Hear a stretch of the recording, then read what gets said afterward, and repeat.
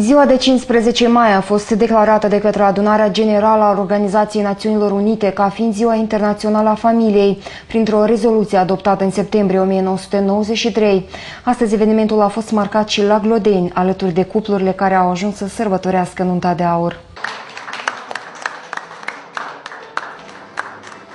14 cupluri din orașul Glodene au fost sărbătoriți astăzi în cadrul Zilei Mondiale a Familiei. Sărbătoarea a avut loc în cadrul oficiului stării civile Glodeni cu suportul secției asistență socială. Astăzi am organizat o sărbătoare în, pentru a celebra căsătoria persoanelor care au trăit împreună în căsnicie 50 de ani, 25, am invitat familii tinere pentru a le da câteva sfaturi, sugestii privitor relațiile în familie, privitor căsnicie de lungă durată. Cu flori în păr și fire de lăcrămioare, așa au fost împudubiți mirii și mirețele care au sărbătorit peste 50 de ani împreună. Intervievați de noi, aceștia au declarat că succesul unei familii de durată rezidă în răbdare și bună înțelegere. Asta e cel mai important în viață, familia. Asta e cel mai scump.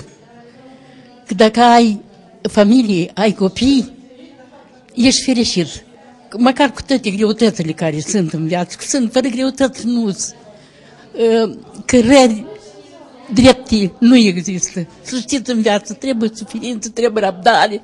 Așa e, așa e viața. Ne bucurăm că am trăit atâția ani, dar ne bucurăm tare că am fior și fiică și nepoți.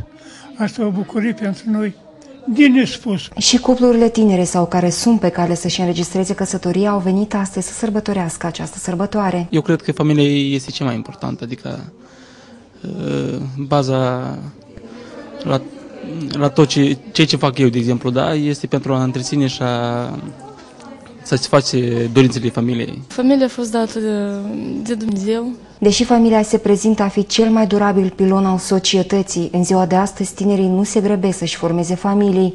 Astfel, de la începutul anului curent, la oficiul stării civile Glodeni, au fost înregistrate numai 15 căsătorii. Deana Zaporojan, Sergiu Mulear, pentru știri.